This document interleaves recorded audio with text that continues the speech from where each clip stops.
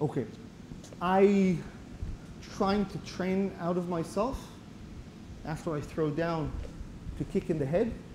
Um, you should not do that when you're demonstrating to your students. I shouldn't do it either because it's, all, it's assault.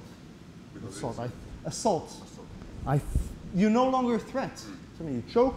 I was able to release. You're on the ground. It would be very hard for me to justify in court why I, I took you down to the ground, why I kept on kicking you in the foot. Why didn't I just run away?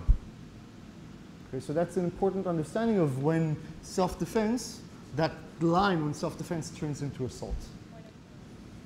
I learned Krav Maga in the army. I learned Krav Maga in the army. I was teaching Krav Maga good, yeah, good 18 years ago. It's changed since, but back when I was training, it- we, the nature of war has changed. When I used to teach Krav Maga, when I originally learned, we were learning to fight the Syrian, the Syrians in the trenches. Soldiers kill soldiers. That's what they do. You, you know, you're, you're there in a battle, and your job, literally as a soldier, is to kill the enemy so- soldiers, unless they surrender, uh, of course. But on the battlefield, so we were trained. You know, somebody comes at you with a knife, you block, you defend, you disarm, and you kill them with their own knife. If that's that's there. Somebody grabs you, take them down to the ground, you, you kill, kill, kill, kill, kill. That's what combatives traditionally was. But nowadays, more and more military in Israel, in America, everywhere, the nature of battle changes. We're, we're, we're fighting more guerrilla type combatives inside civilian populations.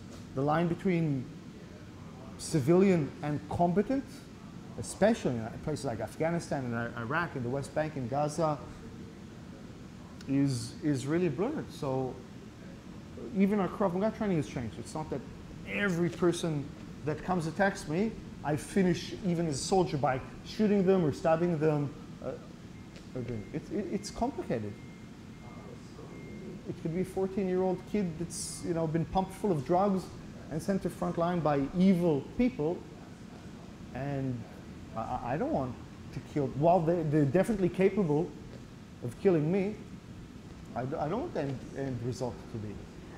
And also, even if it's a combatant, if, if it's a soldier, maybe has more, maybe has more value if I can capture. It's not the so our fighting is not so much done in battlefields anymore. It's done in cities with civilian population. So Krav Maga is adapted in terms of that. We don't teach Krav Maga like like we used to 18 years ago, and it's much more in line with civilian. It's much more in line with law enforcement applications where my aim to separate. And it also makes sense because when I'm a soldier, if I get attacked, I defend, I separate, and then I have options. I can use my weapon. I've got a crew. I've got I've got my my uh, squad with me that that can take control of the situation. So it's no longer that's it. I got to like in the old school movies, I got to go in and trench warfare, kill somebody with my bare hands.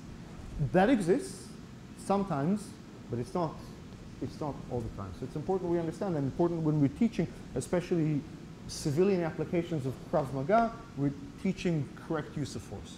Not, it, it really has to be proportional to the threat that we face. You came, you grabbed me, you're strong, you're bigger than me, I have reasonable justification of using force. But now I defend myself, you're on the ground, how much force am I going to use? I need to pull it back because the level of threat to me is no longer as big. And that's important you guys understand that it's Krav Maga instructors. Okay, let's do choke from the side.